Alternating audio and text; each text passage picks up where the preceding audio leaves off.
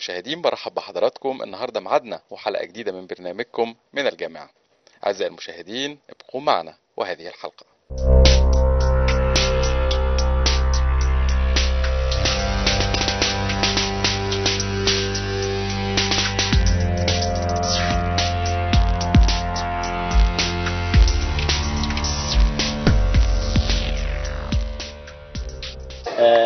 مستشفى وادي النيل وجهازها الوطني بيرحب بحضراتكم جميعا في هذا اللقاء اللي أنا بعتبره لقاء أسري آآ آآ لقاء تواصل بيشرفه معالي الوزيره مها الرباط وزيرة الصحة والسكان ومشرفنا طبعا الأستاذ الدكتور محسن نائب رئيس هيئة التامين الصحي مشرفنا الأستاذ الدكتور محمد الشاذلي رائد زراعة القوقعة في مصر وعلى يساري سيادة اللواء أحمد بن كمال نائب المدير العام للشؤون الإدارية.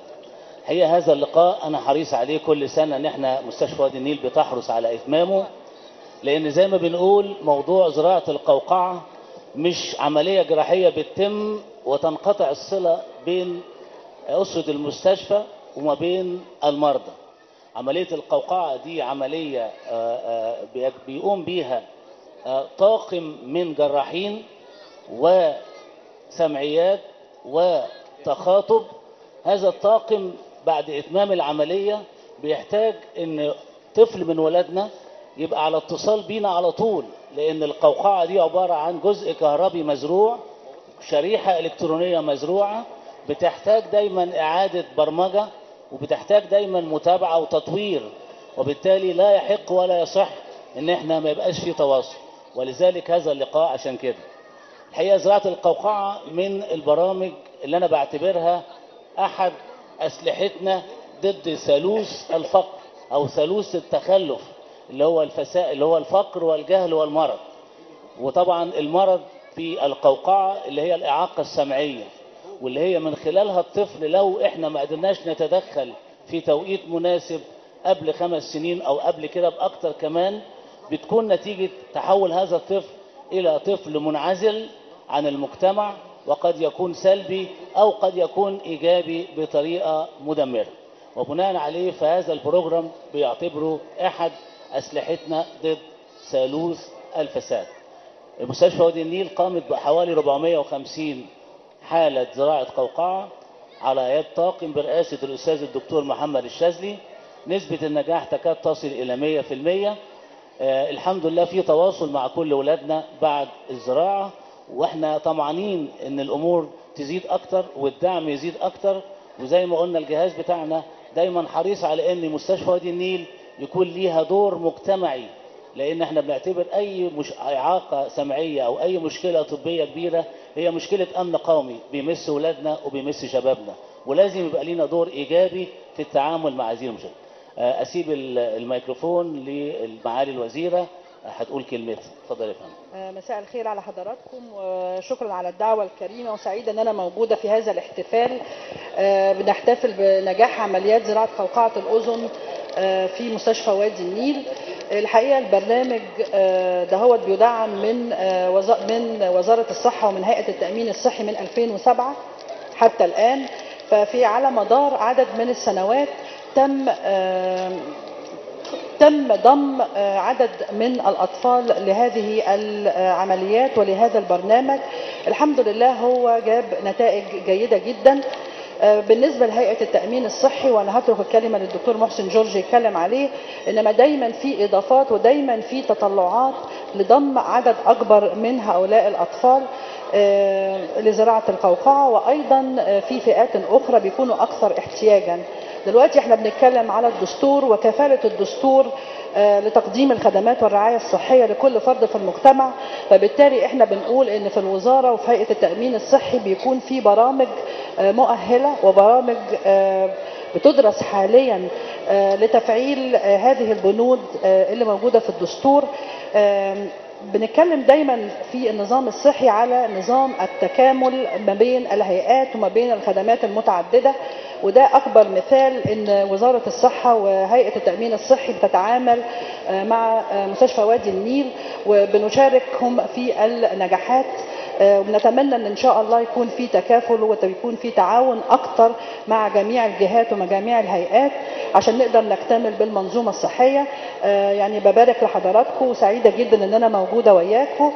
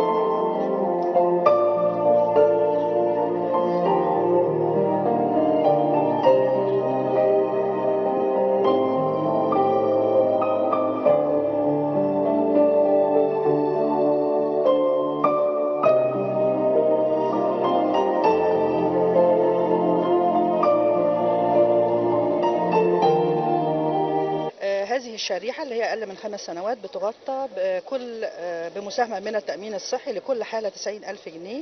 بالتالي الجزء الأكبر من هذه التكلفة بيتم تغطيتها. الزيادة دهيت زادت في السنة اللي فاتت يعني من يناير 2013 وده عمل لنا زيادة في التغطية حوالي 56% فبنقدر نوصل أكتر للأطفال الأكثر احتياجا لهذه الخدمة. مش يعني عايزة أقول إن الخدمة دي لما بتوصل هي بتغير في مسار حياة الطفل ومسار حياة الأسرة ككل. بنتكلم على جودة حياة بنتكلم على عدالة اجتماعية وبنتكلم أيضا على نوعية وجودة في الحياة. الأطفال من خلال التأمين الصحي فبالتالي هم بالنسبة لنا في هذه العملية يعتبروا من ال- ال- المراكز الرئيسية. في وزارة الصحة والتأمين الصحي دلوقتي في عندنا بدأنا في افتتاح مركز خاص بالتأمين الصحي في بهتيم. تم إجراء حتى أمس آه، 24 حالة ناجحة وإن شاء الله بتستمر بيستمر التعاون والمجهودات كلها تتكافل على مستوى الجمهورية بإذن الله. الحقيقة إحنا بدأنا فعلا وبنعملها مش شرط على المستوى القومي إنما بنعملها في مراكز معينة وفي ندوات معينة وفي مراكز تأهيل آه، وبنسعى دايما إلى رفع آه، وعي الأسر لهذه ال- المشكلة وبنسعى أيضا إلى رفع وعيهم اللي هو لازم إن إحنا نروح عشان خاطر آه، يتم العلاج ويتم إن شاء الله المراقبة المستديمة ليهم. الحقيقة إحنا في الخطط كلها دلوقتي والدستور يكفل العلاج ويكفل الصحة الكاملة لجميع أفراد المجتمع وخاصة الأفراد اللي هي عندها احتياج خاص. فبالدستور هذه الخدمات مكفولة لكل فرد وبالتالي يجب أن تؤخذ في الاعتبار. وإحنا بنخطط في ال- الخطة الصحية وإحنا بنخطط في التمويل. دلوقتي إحنا مثلا في الصحة عندنا تمويل زيادة لازم يكون في وضع أولويات للاحتياج وضع أولويات للتغطية. يتم تغطيتها بالزيادة اللي هي متوقعة إن شاء الله في الموازنة العامة للصحة. إن شاء الله إحنا ماشيين إحنا بنتابع كويس جدا. اللي إيه اللي بيتم على مستوى الجمهورية من جميع المستشفيات ومن مراكز الترصد. آه، آه، بنتابع الحالات وبنتابع المضاعفات وبنتابع الوفيات اللي هي بتحدث. آه، الحمد لله في يعني في في زيادة في الوعي عند الناس. دلوقتي بيجوا أكتر للمستشفيات بدري في حدوث العدوى آه، وده مؤشر كويس جدا. آه، بعد كده المضاعفات الحمد لله بدأت تقل اللي إحنا بقينا نشوفها لأن هم بيجوا بدري وبيتعالجوا بدري. الوفيات الحمد لله قلت جدا. آه، بس برضو مش عايزين نقول آه، أي حاجة غير لما نتابع الموقف يوم بيوم وإن شاء الله نقدر نشوف إيه اللي هيحصل. فيروس سي هل في حضرتك بالنسبة لوضع حضرتك إن هي هي دواء هيجي أو مصرف إحنا إيه؟ إحنا إحنا الجديد إن إحنا بنعمل مناقشات جدية جدا مع الشركات المنتجة مش شركة واحدة ولكن عدة شركات آه، بدأنا فيها فعلا وفي بنستمر إن شاء الله الأسبوع القادم في شركتين بيتم المناقشة الجدية وياهم والتفاوض عشان خاطر نقدر نجيب الدواء بإذن الله.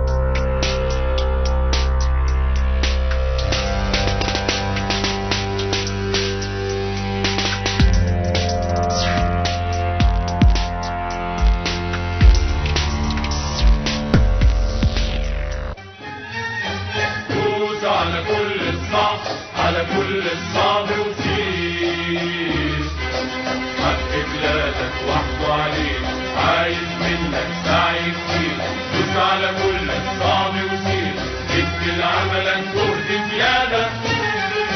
ده الإخلاص عملنا عبادة. قوم بإيمان وروح وضمير. دوس على كل الصعب على كل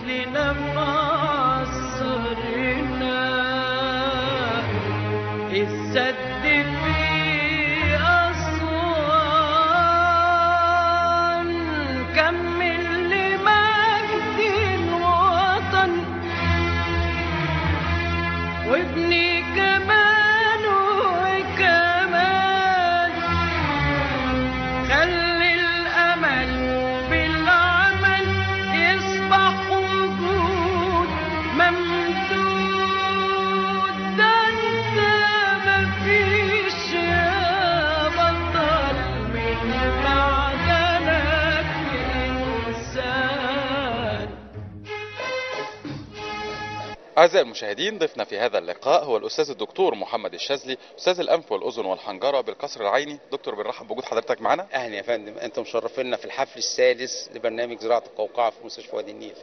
دكتور فرصة وفي يعني وجود حضرتك في هذه الاحتفالية نعرف السادة المشاهدين آه، لماذا زراعة القوقعة؟ يعني إيه الأسباب اللي بتؤدي بالمريض إلى إن إحنا نزرع له قوقعة؟ آه، إحنا ماشيين على بروتوكولات عالمية بالنسبة للأطفال اللي هم أو ال- ال- ال- المرضى المحتاجين زراعة القوقعة. إحنا معظم الأطفال معظم العيانين بتوعنا من الأطفال اللي هم اتولدوا بضعف سمع شديد يكاد يكون منعدم آه، مما قد يؤدي آه، فيما بعد إلى عدم القدرة في الكلام. الوضع اللي حصل إن معظم الأطفال بتوعنا آه، نتيجة عيوب خلقية أو نتيجة وجود آه، آه، آه، زي ما نقول defect أو عيب في الجينات أو نتيجة آه، وجود زواج للأقارب اللي هو منتشر في مصر.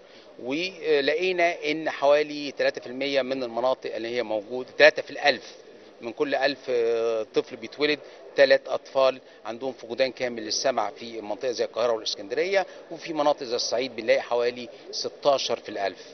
بمعنى إنك لو عملنا الحسبة على بعضها بالإحصاء والكلام دوت بنلاقي إن حوالي لما نحسبها بالنسبة للناس بتلاقي إن النسبة حوالي أربعة أو خمسة في الألف.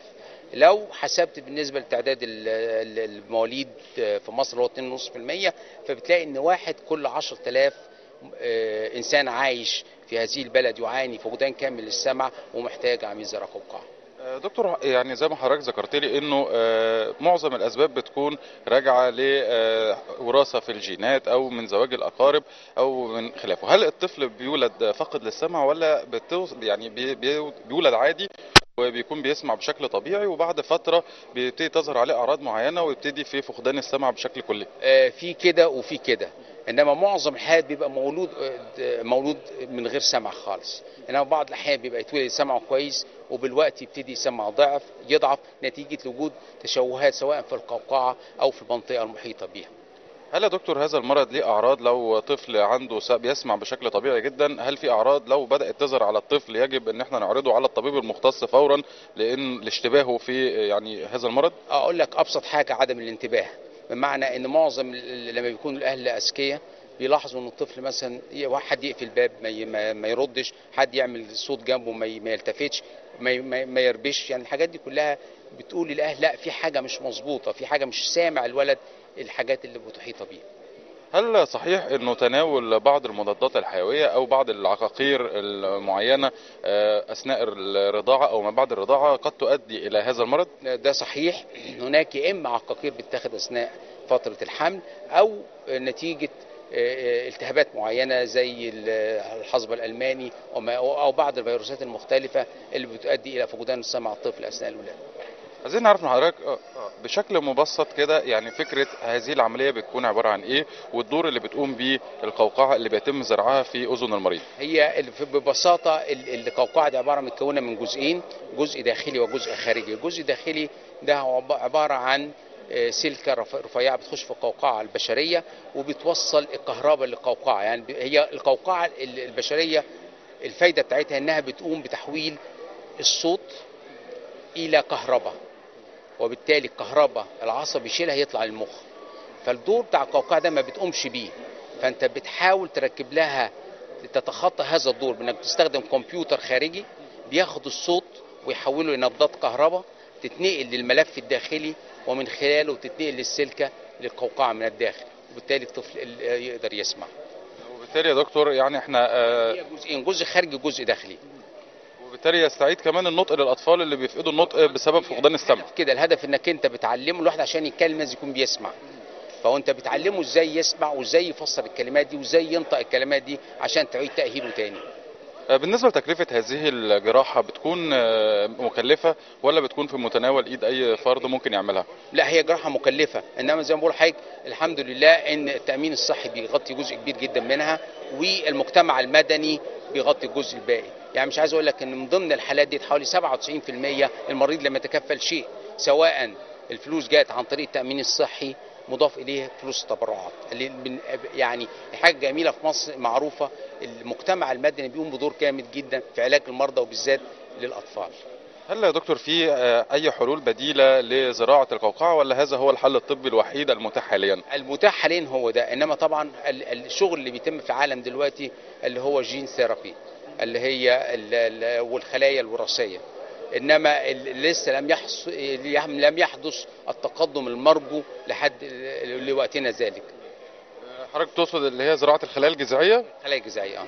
آه، لم تثبت نجاحها حتى الآن هي في طور الدراسة يعني لسه لم لم يثبت نجاح حد الآن آه. طب يا دكتور يعني هل هناك تحديات بتواجه المرضى في مصر لإجراء مثل هذه.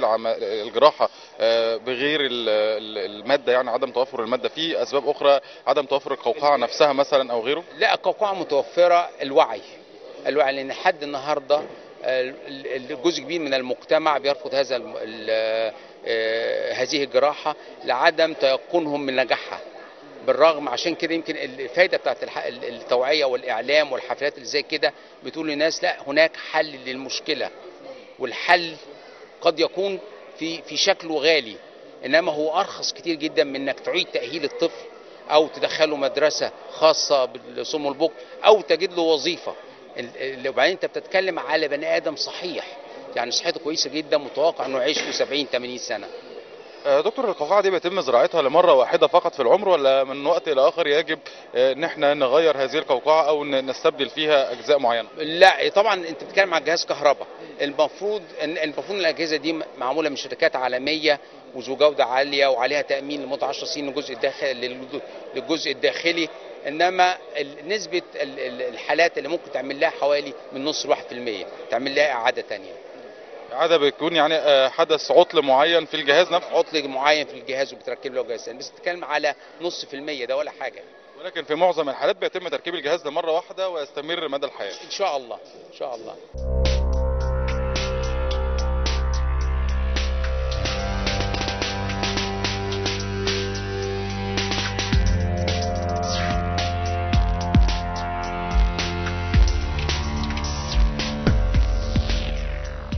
أعزائي المشاهدين بيسعدنا أن يكون ضيف هذا اللقاء هو الأستاذ الدكتور حسام عبد الغفار أستاذ أمراض السمع والاتزان.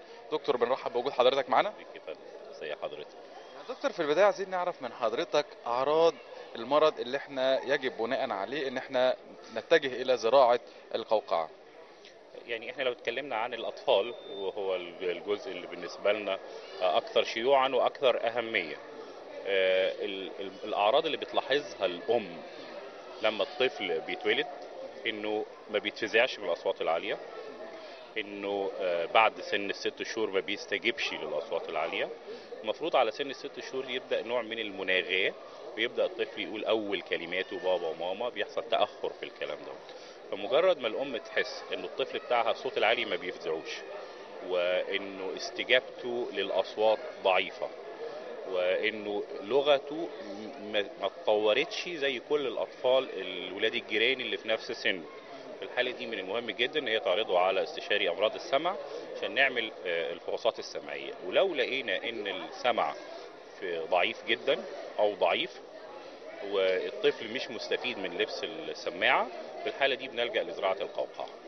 هل في سن معين يا دكتور لاجراء هذه الجراحة؟ لا الحقيقة ممكن نبدأ من سن سنة. إحنا عملنا هنا حالات سنة وعملنا حالات تسع شهور. بره بدأوا من سن ست شهور. آه، فممكن من سن ست شهور أو يعني خلينا لو كنا أكثر تحفظا من تسع شهور لسنة ممكن تتعمل العملية. آه، دكتور عايزين نعرف من حضرتك الجديد والبدائل المتاحة لزراعة القوقعة على مستوى العالم.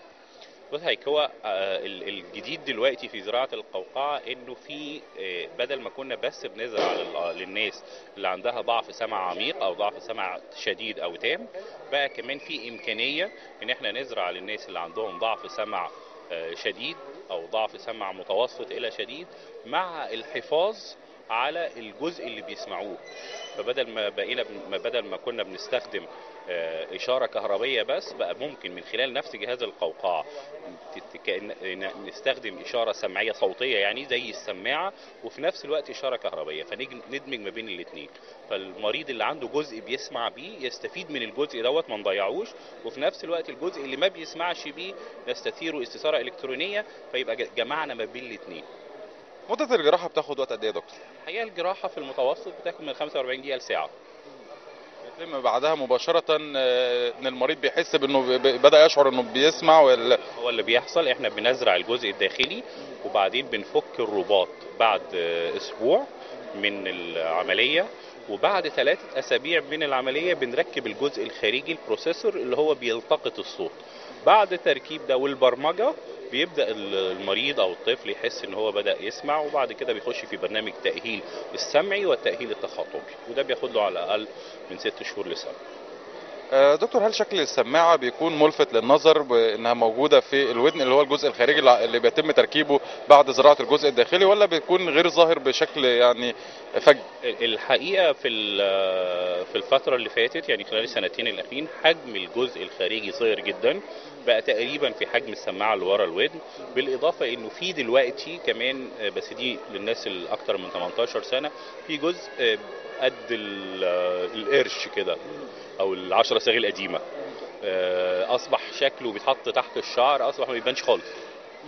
ونرجو خلال السنتين ثلاثة الجايين يبقى في عندنا القوقعة المزروعة كليا ما يبقاش في جزء خارجي يبقى كلها تحت الجلد.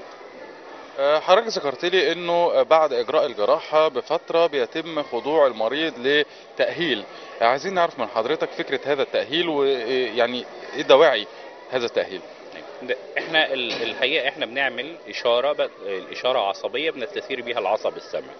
فاحنا بنبقى محتاجين نعرف القدرة والاستجابة بتاعة العصب السمعي ده للأصوات. فده بيتم عن طريق برمجة الجهاز بناء على احتياجات كل مريض. آه، ده الجزء التأهيلي السمعي. وبعد كده ال- الطفل محتاج إنه يتعلم إزاي يتكلم. إحنا أنت الطفل بنعتبره أو الطفل أول ما بيتولد ما بيتكلمش. ده اللي بيسمع طبيعي. بيبدأ يتكلم بعد على سن ست شهور وهكذا. في الفترة دي بي- بيحصل له نوع من التأهيل عشان يبدأ يخزن الكلمات ويبدأ يقولها. إحنا بنعتبر الطفل أو الشخص اتولد ساعة ما بدأ يشغل الجهاز. فبيحتاج نفس النوع من التأهيل اللي الطفل الطبيعي بيحتاجه آه، بس ده بيحصل طبيعيا في البيت. آه، عشان يتكلم على ست سن ست شهور محتاج نفس الكلام ده مع الفارق ان انت بتعمله عن طريق آه، استشاريين التخاطب واخصائيين التخاطب اللي موجودين معانا في البرنامج. آه، يعني عايزين برضه يا دكتور نستغل آه، وجود حضرتك معانا ونستفيد منك بقدر الإمكان. بالنسبة للشباب اللي بنرى إنه في ظاهرة في هذه الأيام إنه كل شاب بيضع سماعات آه، للتليفون المحمول في أذنه بيشغل آه، أغاني أو بيشغل أي حاجة يسمعها بصوت آه، صخب جدا. يمكن اللي حواليه كمان بيبقوا سامعين هذا الصوت. هل ده حضرتك على المدى الطويل أو القصير بيؤثر تأثير سلبي على آه، قدرة على السمع؟ يأثر بشكل فظيع الحقيقة. إحنا عندنا كمية من التلوثات السمعية والملوثات السمعية سواء إحنا بنخلقها لنفسنا عن طريق ال headphones وعن طريق ال speakers ال- والصوت العالي أو عن طريق الضوضاء اللي موجودة في المجتمع. إحنا أنا يعني من 20 سنة مش من فترة آه، بعيدة قوي. يعني لما كنا بنعمل مقاييس سمع للشباب من سن 15 ل 18 سنة كان من النادر إن لم يكن مثلا في كل ألف شاب بتلاقي عنده اللي هم طبيعيين ما بيشتكوش من مشاكل. آه، بداية تأثر في في, في السمع. النهارده العدد زاد بشكل غير طبيعي. بتلاقي شاب عنده 18 و19 و20 سنة وفي بدايات لتأثر آه، حاسة السمع نتيجة للتعرض للضوضاء. يعني زمان ما كناش نعرف تعرض للضوضاء ده إلا الناس اللي في الجيش الناس اللي في الشرطة اللي بيضربوا نار ال- عمال المناجم والمحاجر. لكن دلوقتي وسط الشباب العادي طلبة المدارس طلبة الثانوية العامة طلبة الجامعات بنلاقي فيه تأثر في حاسة السمع بسبب التعرض للضوضاء. وده الحقيقة سببه اللي هم بيعملوه في نفسهم. طب كيف نحمي أنفسنا؟ يعني إيه اللي ممكن نقدر نعمله لما تضعنا الظروف آه، مثلا في وجودنا في آه، أفراح أو في أي مكان فيه آه، أصوات صاخبة جدا. إيه اللي ممكن نعمله عشان نحمي أنفسنا من هذه الضوضاء؟ يعني الح- الحل الأمثل ال- والمثالي وإن كان غير قابل للتطبيق إنك ما تروحش الأماكن دي. آه، لكن ال- البديلة دكتور. لكن الحلول البديلة القابلة للتطبيق لتخفيف الضرر مش لمنعه الابتعاد بأقصى قدر ممكن عن مصدر الصوت. آه، استخدام السماعات اللي هي بتتحط داخل الأذن آه، بشكل مش مستمر وطويل مع في نفس الوقت مراعاة إن الصوت ما يكونش مرتفع بحيث يؤثر على الخلايا السمعية اللي موجودة في الودن. آه، استخدام الواقيات للناس اللي ظروفها مضطرة إنها تشتغل في أماكن الصوت فيها عالي برضه هيقلل بشكل كبير وإن كان ده برضه بيقلل مش بيمنع استخدام سدادات الأذن واقيات أو اللي بيسموها ال- المخفضات الصوت. أيضا هناك موضوع آخر يا دكتور هو دخول الماء بشكل كبير في الأذن. يعني بنشوف مثلا الأمهات وهم بي بي بي بيحموا الأطفال الصغيرين بيقعدوا يحطوا المية بتدخل بشكل رهيب داخل الأذن. أيضا في بعض الناس وهم آه، أثناء آه، الاستحمام بيدخلوا المياه بشكل عميق على اعتبار إن هم بهذا الشكل بينظفوا ال- الأذن من الداخل. هل ده له أي تأثير على الأذن ولا ده المفروض صحي وعادي؟ لا الحقيقة ده ليه تأثير. إحنا عندنا مشكلتين في الموضوع ده. المشكلة الأولانية هي غسل الاذن بالماء وده من شأنه إنه يسبب الكثير من الالتهابات وده شيء غير مرغوب فيه اطلاقا. المشكلة الثانية اللي أكبر من كده إنه يبدأ ينشف الودن باستخدام ال cotton buds. الحقيقة الاثنين مشكلة بتؤدي إلى حدوث التهابات. وتؤثر على الخلايا المبطنة ل- لجدار الأذن اللي هي مسؤولة عن إفراز السائل الشمعي اللي هو دوره إنه يحمي الودن فبتمنعه من الإفراز وتصبح الأذن أكثر عرضة للإصابة بالالتهاب. فالودن ربنا خلقها بتنظف نفسها وبتحمي نفسها مش محتاجة أي تدخل خارجي. لا المفروض الإنسان لا يحط مية ولا ينشف المية. وبعدين ده حتى الوضوء اللي هو الواحد بيعبد بيه ربنا عشان يخش الجنة الرسول صلى الله عليه وسلم ما قالش تدخل مية جوه ودنك. لا قال تمسح من بره. فإذا كانت العبادة بنمسح من بره نيجي إحنا عشان الحاجة اللي مش هتدخلنا الجنة ن- نبوظ ودننا. هل هل هذا الموضوع أيضا يا دكتور بينصرف على السباحين اللي معظم وقتهم بيقضوه في السباحة في تمرينات السباحة بيتأثروا برضو بشكل أو بآخر؟ آه بيتأثروا بشكل كبير. وفي عندنا آه، مرض مشهور اسمه آه، ودن السباحين. بيتكون تكلسات عظمية داخل ال- الأذن قناة الأذن الخارجية بسبب كثرة تعرض الودن للماء. اسمه هو كده يعني أذن السباحين. سؤالي الأخير لحضرتك يا دكتور إنه كيف يمكن الوقاية أيضا من دخول المياه آه، سواء كان آه، في أثناء الاستحمام أو بالنسبة للسباحين وأيضا كي- الطريقة الصحيحة والمثلى لتنظيف الأذن آه، دون العبث بها بشكل يعني يضرها. بالنسبة لل- للمية الحمام العادي طول ما هو ما بيدخلش مية أقصد جوه ودنه فهو مش مطلوب منه أكتر من كده. الجزء اللي بيخش ده الودن بتنظف نفسها بنفسها. لا يعني أنصح مرة واثنين وثلاثه ما لم يكن أنت عندك رغبة في إنك تفيدنا ماديا وتجيلنا كتير ما تنظفش ودنك. دع الأذن تنظف نفسها بنفسها. وكان عندنا بروفيسور كده زمان بيقول إنه أصغر حاجة ممكن تدخلها جوه ودنك هي كوعك. فلو قدرت تدخل كوعك يبقى تدخل حاجة تانية. آه، بالنسبة للسباحين أنصحهم باستخدام سدادات الأذن اللي هي بتمنع دخول المية. أثناء ال- السباحة ده هيقلل برضو لكنه لن يكون آه، آه، مانع بشكل تام لكنه هيقلل وكل حاجة للدنيا ليها ضريبة. في برضه يا دكتور سمعنا إنه آه، آه، في القطن اللي هو المفزلن أو يعني حاجة زي هذا يوضع أثناء الاستحمام هل يمكن يعني؟ لا في الظروف العادية ما لم تكن الأذن فيها ثقب في الطبلة مش مطلوب. لكن إذا كانت الأذن فيها ثقب من الطبلة في الحالة دي لازم ناخد إجراءات احترازيه عالية جدا عشان ما تاخدش مية خالص. في الحالة دي ممكن نستخدم قطنة مغمسة بالفازلين.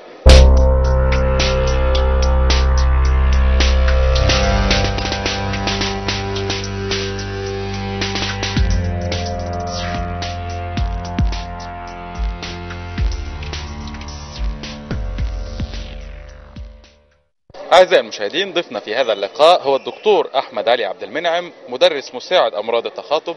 دكتور برحب بوجود حضرتك معنا. أهلا بيك. آه، دكتور في البداية عايزين نعرف يعني نسب النجاح لعملية زراعة القوقعة. الحمد لله إحنا نسب النجاح عندنا مرتفعة الحمد لله بتعدي 99% آه، هل هناك أي بدائل أخرى ل آه، يعني جراحة زراعة القوقعة ولا هي الحل الوحيد المتاح حاليا؟ لا إحنا بنبدأ أصلا الأول إن إحنا نجرب مع الطفل السماعات أو اللي هي المعينات السمعيه لو الطفل ما استجابش ليها بنبدأ نفكر في عملية زراعة القوقعة. طيب آه، هل هي مكلفة يا دكتور ولا يعني يمكن أن تكون في متناول إيد الجميع؟ لا مكلفة طبعا. والتامين الصحي بيدعم ال- العملية بمبلغ 90000 جنيه. اسباب تكلفتها هو آه، غلو سعر ال- القوقعة نفسها؟ غلو سعر الجهاز نفسه. آه، ولكن آه، على المستوى العالمي يتم أيضا زراعة آه، يعني عمل نفس العملية وهي عملية زراعة القوقعة ولا بيستخدموا أي وسائل بديلة لهذه العملية؟ لا نفس الوسيلة هي عملية زراعة القوقعة. هي هي. لا توجد أي بدائل حتى الآن. طب هل هن... آه ولكن هل هناك دراسات على شيء معين ليكون بديل أسهل على المريض؟ لأنه زي ما عرفنا إنه هذه العملية تتم على آه، مرتين. مرة زراعة القوقعة الداخلية ومرة زراعة القوقعة الخارجية.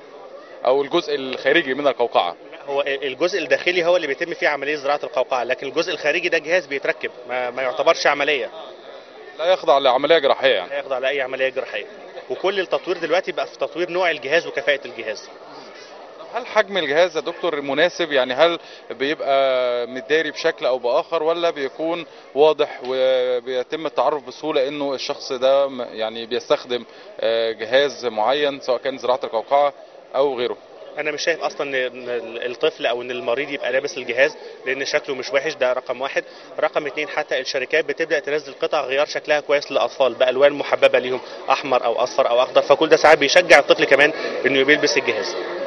عايزين نعرف من حضرتك يا دكتور الأعراض اللي ممكن تظهر على أطفال فنعرف من عن إن هم بيعانوا من مرض معين أو مشكلة معينة في السمع فنبدأ ناخدهم نعرضهم على الدكتور المختص علشان نعرف اللي عنده ده إيه وهل هو محتاج إلى جراحه ولا لا.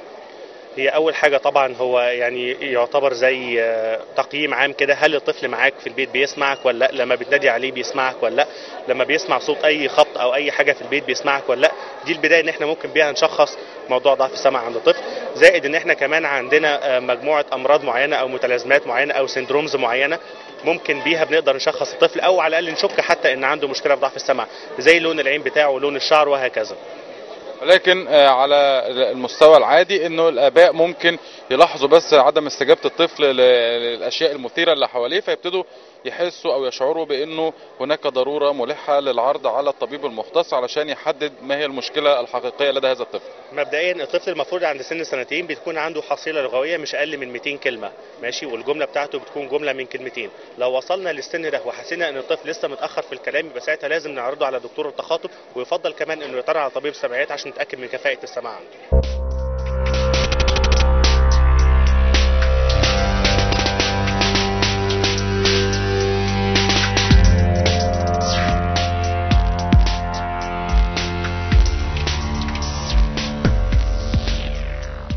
أعزائي المشاهدين ضيفنا في هذا اللقاء هو الأستاذ الدكتور طارق الدسوقي أستاذ مساعد أمراض السمع والاتزان. دكتور برحب بحضرتك. أهلا وسهلا بيك أهلا وسهلا بك في المستشفى.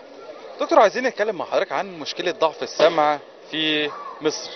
ويعني آه، عايزين نعرف هل نسبها منتشرة الأسباب اللي بتؤدي إلى ضعف السمع لدى المصريين.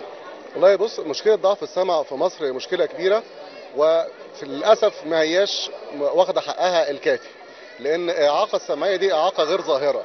يعني أنت لو شفت واحد ما بيسمعش وواحد بيسمع والاثنين جنب بعض سواء كان طفل أو كبير مفيش أي فرق في الشكل العام. فده يؤدي إلى تأخر تشخيص الحالة. نسبة انتظار ضعف السمع في مصر نسبة مش قليلة. يعني بنتكلم من 10 ل 12% من السكان عندهم مشاكل في السمع. بالنسبة على سكاننا بنتكلم في أقل مش أقل من 8 أو 9 مليون مواطن. هنضيق النطاق بتاعنا أكتر نتكلم مثلا في الأطفال حديثي الولادة بنتكلم في نسبة 4 في الألف ودي نسبة عالية جدا اعلى من النسب العالمية اللي معترف بيها طبقا لمنظمه الصحة العالمية إنها بتبقى واحد في الألف فالنسبة دي ليه عالية قوي عندنا كده؟ لعدة أسباب أهمها آه، جواز القرايب وإن ده منتشر جدا عندنا ومفيش فحص للجينات الوراثية ما قبل ال- الزواج بالصورة ال- الفعلية أو الحقيقية وتاني حاجة الأمراض ال- ال- المزمنة اللي موجودة عندنا وسوء استخدام المضادات الحيوية عند الولادة ده بيؤدي إلى مشاكل في السمع ومشكلة مش هينة. والوجع أربعة في الألف دي مشكلة كبيرة جدا. وينتج عنها للأسف إن إحنا بنحتاج بعد كده الأطفال دول لتدخل آه، آه، اللي هو عمليات زراعة القوقعه أو المعاناة السمعية. وللأسف التدخل ده بيتم في مصر متأخر إن إحنا ما عندناش برنامج للمسح السمعي الشامل. يعني هل بيختلف يا دكتور مشاكل السمع من مجتمع إلى آخر؟ آه طبعا يا فندم. بيختلف من مجتمع لاخر آه، مكت... آه، مفاهيمه طبقا ل آه، البيئية وظروفه الاجتماعية طبعا وطبقا للنقطة المهمة طبقا لل- للمفاهيم. لأن في ناس لما تشوف ابنها ما بيتكلمش أو ما بيستجيبش ممكن تسيبه لما يوصل سنة سنتين وده يعتبر يعتبر سن متأخر للتدخل. دكتور كيف نقي آه، الأذن من المشاكل الموجودة حوالينا من تلوث سمعي و يعني هناك الكثير من آه، بنشوف مثلا الأفراحنا في مصر هنا بتكون آه، مكتظة بال- بالسماعات الكبيرة اللي فعلا بتؤثر على الأذن بشكل كبير. أيضا آه، أصبح مفهوم إن الشباب يضعوا سماعات في الأذن ويشغلوها بشكل عالي جدا بحيث إن كل اللي حواليهم وال- في المحيط اللي حواليهم بيبقوا سامعين آه، ما يحدث. فأعتقد إن الأذن بتتضرر بشكل كبير جدا. كيف نقي أنفسنا يا دكتور من هذه المشاكل؟ هو أنت فعلا أشرت لنقطه مهمة جدا التلوث السمعي في مصر ودي دي مشكلة كبيرة جدا. وللأسف إن أنت زي ما قلت لك المشاكل السمعية عموما ما هياش واخدة حقها لسبب بسيط. أنت ممكن تفقد 30% من سمعك قبل ما تحس إن أنت عندك مشكلة في التعامل مع الناس على عكس النظر. تمام؟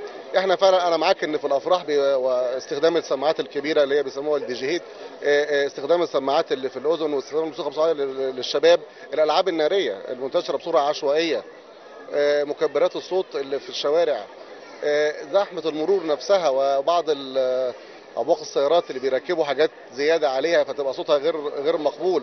كل ده يؤدي فعلا إلى مشاكل بالسمع.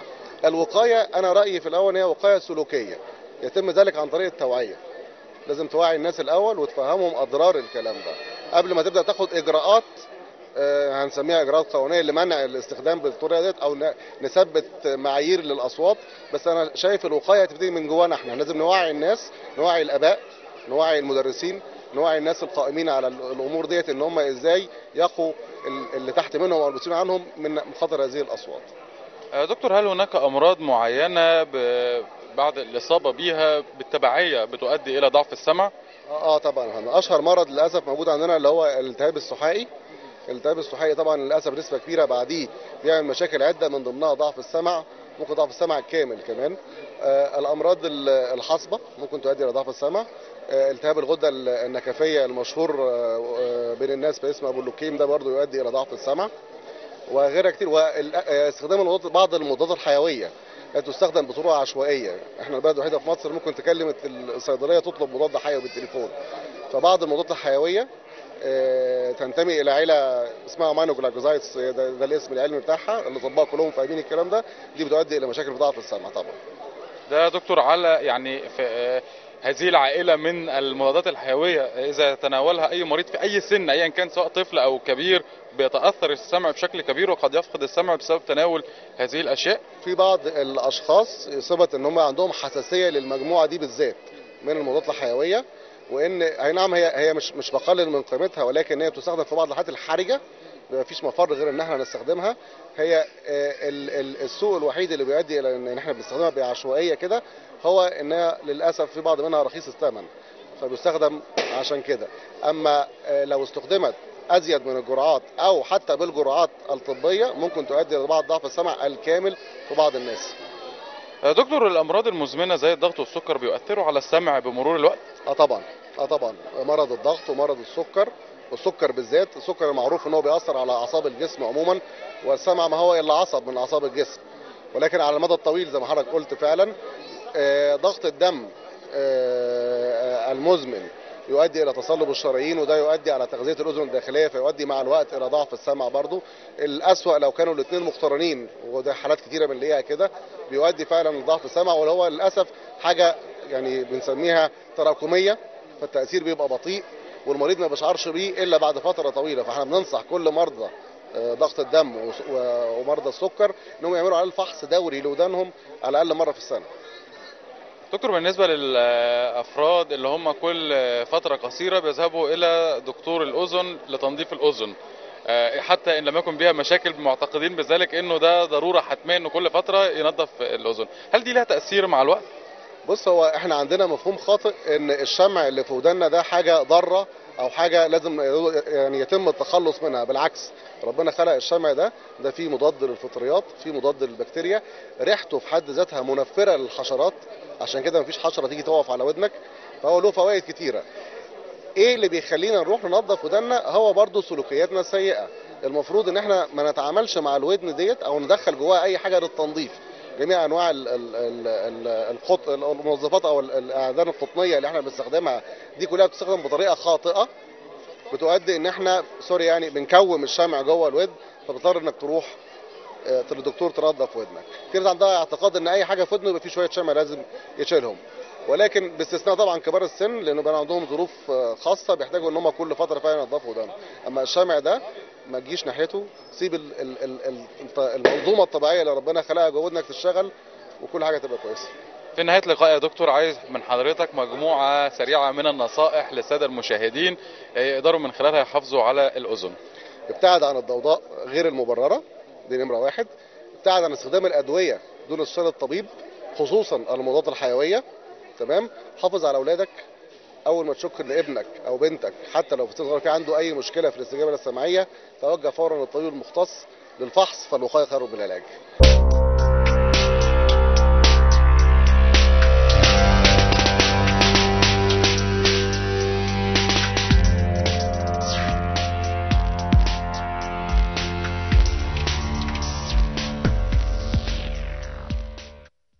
أعزائي المشاهدين ضيفة هذا اللقاء هي الدكتورة أسماء عبد الحميد مدرس أمراض التخاطب.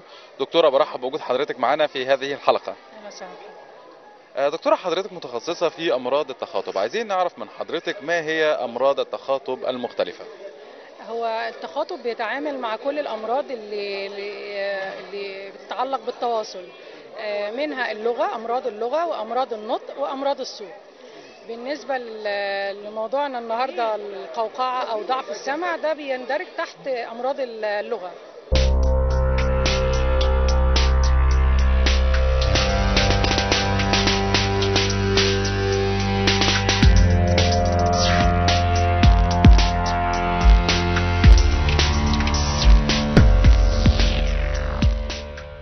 ولاحظنا في الفاي ديت أو الفطيرة ديت إن 97% من الحالات تم تمويلها من خلال التأمين الصحي والتبرعات. من خلال التأمين الصحي والتبرعات و3% فقط هي من خلال التمويل الخاص. عن حي الجمهورية. واحد اثنين ثلاثة أربعة خمسة ستة سبعة ثمانية تسعة عشرة إحداشر اثناشر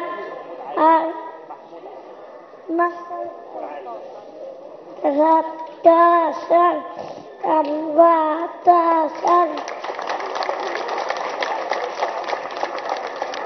أعوذ أعوذ بالله من الشيطان الرجيم بسم الله الرحمن الرحيم.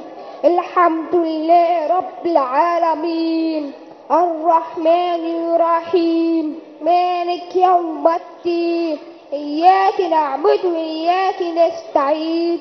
اهدنا الصراط المستقيم. الصراط الذين أنعمت أنعمت عليهم خير مغضوب عليهم. ولا الضالين سبت الذين